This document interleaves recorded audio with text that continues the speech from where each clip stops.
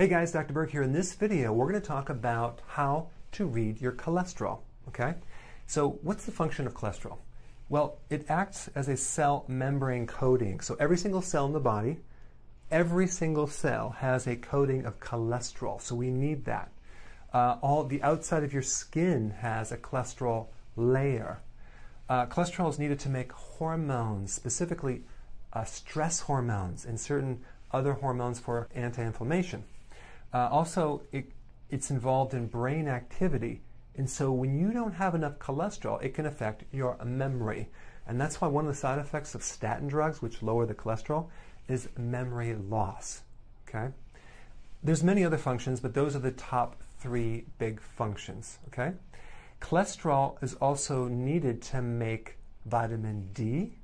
It's also needed to make bile, B I L E, to actually help you dissolve fats. Now, what's funny to me is that, you know, we talk about good and bad cholesterol, like HDL is called good cholesterol. You can kind of think of the H as like a healthy cholesterol. And then LDL is supposedly the bad cholesterol, like there's two types of cholesterol, but there's really no such thing as two different types of cholesterol. It's really one cholesterol that's inside of both of these little guys. This stands for high density lipoproteins, okay? This is low density lipoproteins. Do you notice I didn't say cholesterol? In order to transport cholesterol, which it doesn't mix well with water or blood, you have to put it in a protein capsule. And that's what these are. These are little tiny shuttles that deliver cholesterol in certain directions in the body. So let's talk about like let's talk about the LDL first. So we have this outer covering of this protein, okay, that surrounds the cholesterol, and the purpose of the LDL is to transport the cholesterol from your gut and liver to your intestinal tract and then right to the blood. So basically, LDL takes the cholesterol from the liver, puts it in the blood, and then from the blood it goes to the rest of the tissues. Okay?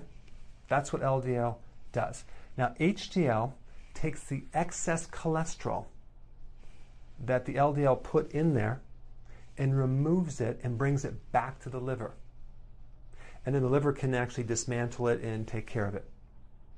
So basically, we have this exchange between cholesterol coming out of liver, right here, and cholesterol going into the liver. And we need that balance. So when you see that you have high levels of bad cholesterol, you know, doctors instantly give you a drug to shut it down. But what I want to do is I want to teach you what's behind that, like what's causing that problem. We want to use this as a little indicator light to tell us that there's some problem inside our body. Normally, the LDL should be below 130. Now, in 2004, a group of 15 doctors, panels of doctors, that basically decided to lower the LDL to 100 to even uh, as low as 70 for certain people that are risk factors, okay? So what they did is they adjusted the numbers, they changed the normal values and put 8 million people on cholesterol medication overnight. That's what they did. Well, then we find out, and I put a link down there, that a lot of these doctors had um, ties to the drug companies. Yeah, I know. Surprise, right? So, unfortunately, people are freaked out about if that LDL is too high. And so we'll get more into that. But basically, that's what it does. So, LDL um, takes the cholesterol and drives it into the, the blood and then out to the tissues. And then HDL takes the excess, cleans it up, and puts it back into the liver. A normal HDL is in a male body should be at 40 or greater, okay? In a female body, 47 or greater. Now, let's talk first about let's talk uh, about triglycerides for a second. What is triglycerides? Those basically those are blood fats, and basic triglycerides are converted sugars. Okay, so triglycerides are used to transport excess carbohydrates. So if you have high triglycerides, I know for a fact you have too much sugar in your body because the hormone insulin is the converting hormone that makes triglycerides high. So we want about 150 or less. That's the value for triglycerides. We don't want them greater than 150. Um, it's very easy to get to change this. and it's simply by getting rid of sugar out of the diet. Now, they also talk about total cholesterol to HDL ratios and all these different uh, calculations. I don't like that. I like uh, the triglyceride to HDL ratio the best. This will give the best indicator of your risk for heart disease. And basically, you just divide your total cholesterol by, I'm sorry, total triglycerides by the HDL, and that gives you the ratio. And if it's greater than 6, there's a problem. If it's 2 or less, it's good. So we want it to be lower. Okay? So that's kind of a ratio you can look at. Um, but really, in reality, there's really no such thing as good or bad cholesterol. It just, because you need cholesterol. You cannot live without cholesterol. You just want the exchange there. Um, I would say about 99.99% of the time, just by cleaning up the sugar, the carbs, the bread, the pasta, the alcohol, you can clean this up so fast and bring it back to normal ranges. Okay, there are genetic uh, cholesterol issues, but it's very rare. It's not as common as you think. But if you do have a genetic uh, tendency to have high cholesterol, even if you had 350, the studies show that there's still no risk for heart disease.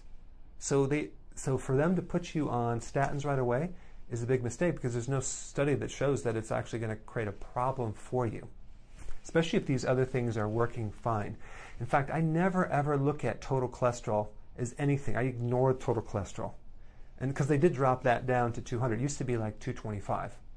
But even if it's like 350, if it's less than 350, I'm not going to worry about it if these other things are working fine. And it's very rare for it to go up if you're off sugars. Usually it'll come right down. The other point I want to make is that 75% of the cholesterol in your body right now is made by your own body. It's made by your liver and the cells. Your liver makes 2,000 milligrams of cholesterol every single day, and the rest of the cells make 1,000 milligrams. And only 25% of the cholesterol in your body comes from diet. Okay, the rest comes from your body making it. So that might shift your viewpoint because if you eat less, your body makes more. If you eat more, your body makes less because we have this feedback mechanism. Um, so I just wanted to kind of cover some of these basics and kind of give you the simplicity of what it is so you're not freaked out about it. But for people to be put on medication when they should be working, like this is what most people do. If it's high, they go on a low fat diet, it's usually high carbs, they go on medication, they go on exercise that they never cut out the sugar. Okay? All right, so go ahead and apply this information. Make, uh, put your comments below. Thanks for watching.